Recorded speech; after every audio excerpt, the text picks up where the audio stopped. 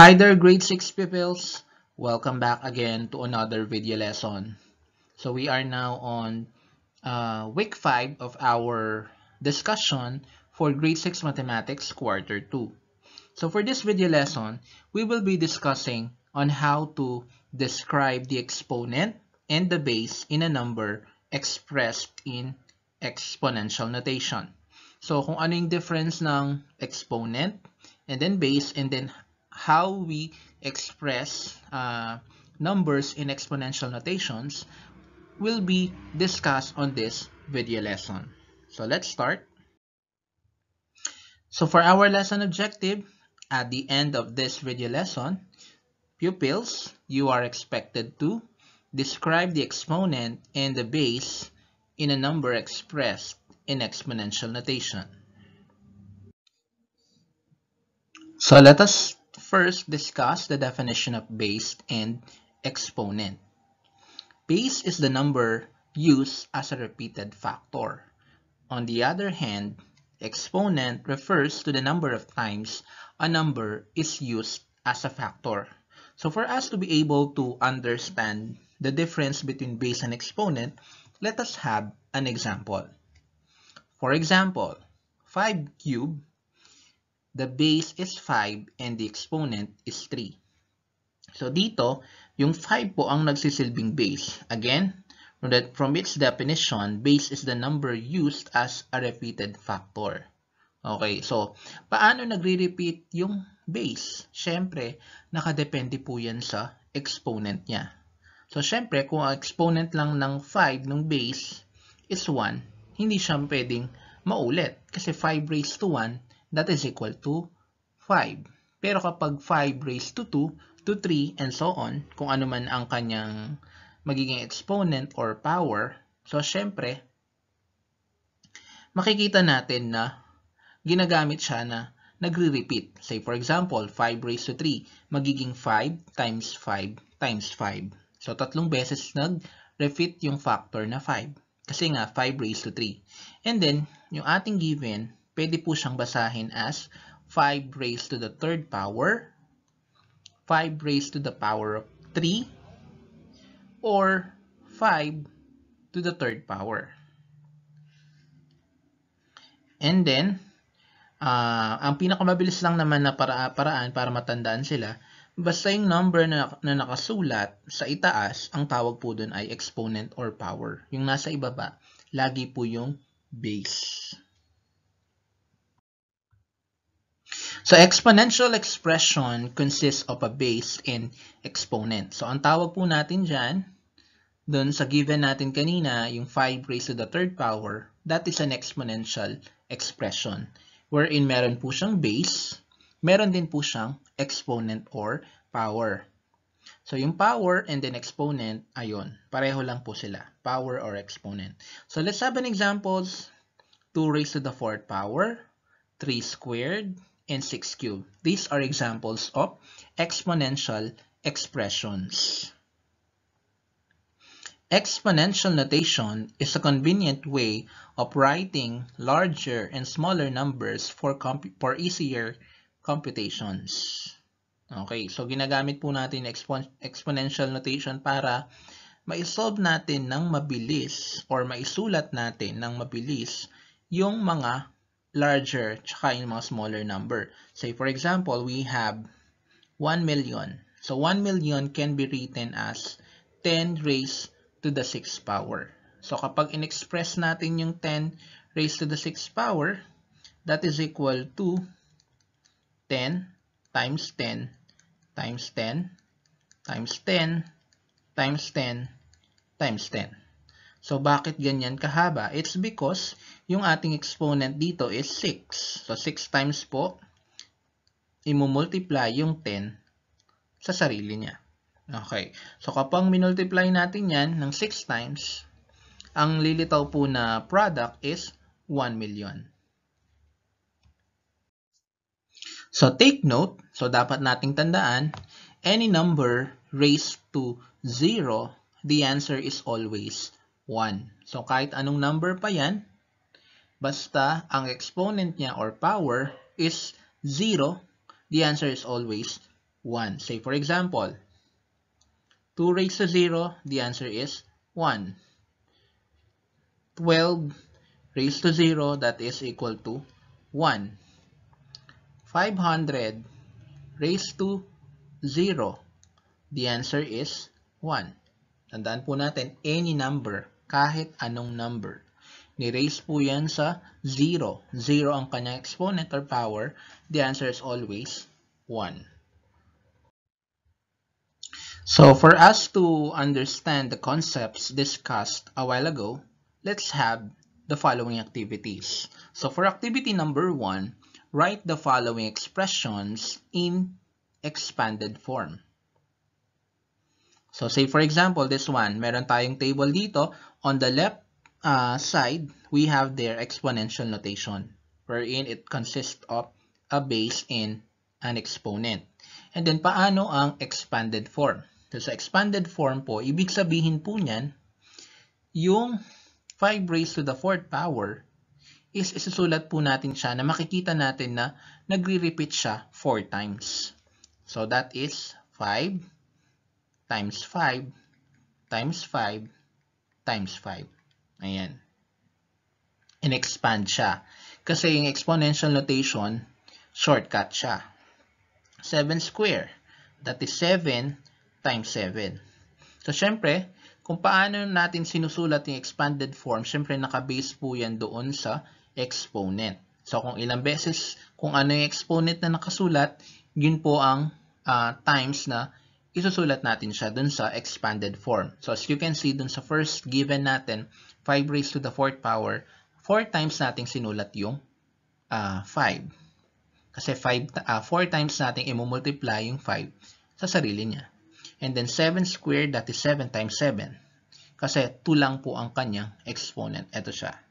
Next, 3 to the 5th power, that is 3 times 3 times 3 times 3 times 3. Kasi 5 ang kanyang exponent. Next, 10 cube. That is 10 times 10 times 10. And then last one, we have 2 raised to the 7th power. Okay, that is 2 times 2 times 2 times 2 times 2 times 2 times 2. Okay, so 7 times. And then, kapag sinabi na uh, evaluate the following uh, exponential notations, ibig sabihin, yung 5 times 5 times 5 times 5 is sasagutin natin sila. Okay, so ganun lang po yun. Say, for example, let's have the following activity. Evaluate the following expressions. So, yan. Given pa rin ni exponential notation. So, this time, hindi lang po natin isusulat yung expanded form. Ibig sabihin, sasagutin natin kung ano nga ba yung sagot kapag yung 2 ni-raise natin sa 6. So 2, 2 raised to 6, that is 2 times 2 times 2 times 2 times 2 times 2. So this time sasagutin natin kung ano ang uh, 2 raised to the 6th power. So let's have 2 times 2. So 2 times 2, that is 4 times 2, 8 times 2, 16 times 2, 32 times 2, we have 64. So, ibig sabihin, ang 2 raised to the 6th power equal po siya sa 64. Next, 8 cube. That is 8 times 8 times 8. So, let's have 8 times 8 first. So, the product of 8 and 8 is 64. And then multiplying it again by 8, the answer will be 512. So therefore, 8 cube or 8 to the third power, that is equal to 512. Next, 5 to the fourth power. That is equal to 5 times 5 times 5 times 5. 5 times 5 that is 25 times 5 125 and another 5 that will be equal to 625 next let's have 10 to the fifth power. 10 raised to the fifth power, that is, that is equal to 10 times 10 times 10 times 10 times 10. 10 times 10, that is 100. And then times 10, 1,000.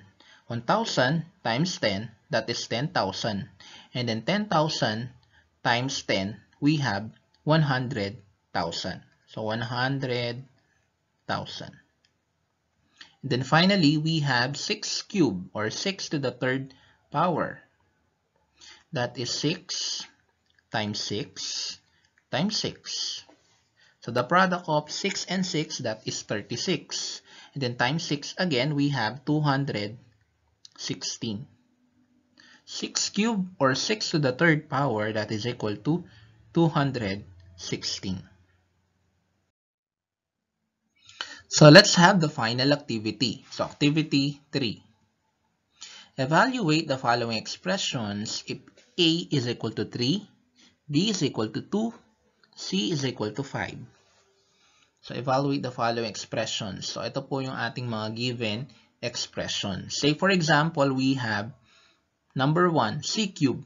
So ang gagawin lang po natin is isa-substitute natin yung value ng C dun sa C. So, based dito sa ating given, A is equal to 3, B is equal to 2, C is equal to 5. So, if C equals 5, then C cube equals 5 cube. Or 5 times 5 times 5. So, kung i-multiply natin yung 5 3 times, Our answer will be 125. 5 times 5, that is 25, times 5, 125. Therefore, C cubed is equal to 125. Next, B to the fourth power. So B to the fourth power, that is equal to 2 raised to the fourth power since the value of B is 2. And then that will become 2 times 2 times 2 times 2. 2 times 2, that is 4, times 2, 8, and then another 2 we have 16. So b to the fourth power is equal to 16. Next, number 3, a squared plus 4c. So a squared plus 4c, so substitute natin yung mga value ng A and C. So, for A, that is 3. A is equal to 3. So, magiging 3 squared plus 4 times the value of C, that is equal to 5. 3 squared, that is 3 times 3, 9. Plus 4 times 5, 20. So, A squared plus 4C is equal to 9 plus 20. So, pag inad natin yung 9 tsaka 20, that is equal to 29.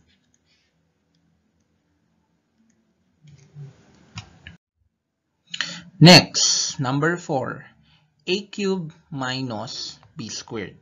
So, sana nasusundan natin yung uh, steps. No? Madali lang naman ang pag-substitute and pag-evaluate ng mga expressions na yan. Since given naman yung ating mga values for a, b, and c. So let's have number 4. So a cubed minus b squared. So the value of a is 3. So that is 3 to the third power minus the value of b, that is 2 squared. 3 cubed, that is 3 times 3 times 3 so 3 times 3, that is 9 times 3, 27. Minus 2 squared or 2 times 2, 4. 27 minus 4, that is equal to 23. So a cubed minus b squared equals 23. Next, for the last example, we have b to the fifth power plus 3a squared So b to the fifth power plus 3a squared that is equal to the value of b, 2. So 2 to the fifth power plus 3 times the value of a, 3 raised to 2. Next, 2 to the fifth power, that is, uh, we will be multiplying to 5 times 2 itself. So 2 times 2, that is 4, times 2, 8, times 2, 16, times 2, 32. Plus 3 times uh, the square of 3, that is 9. So 3 times 3, that is 9. 32 plus the product of 3 and 9, that is 27. And then finally, we will just add 32 and 27. So 32 and 27, that is 59. b to the fifth power plus 3a squared, that is equal to 59. So I hope you've learned something from this video lesson. And then what is the difference between base and exponent and then how do we write exponential uh, notation in expanded form and then how to evaluate exponential notation and then how to evaluate expressions. So if you have questions, don't hesitate to ask. So put your questions or type in your questions on the comment box and then I will uh, make time for for for those questions and then para matulungan ko kayo kung meron man kayong mga katanungan.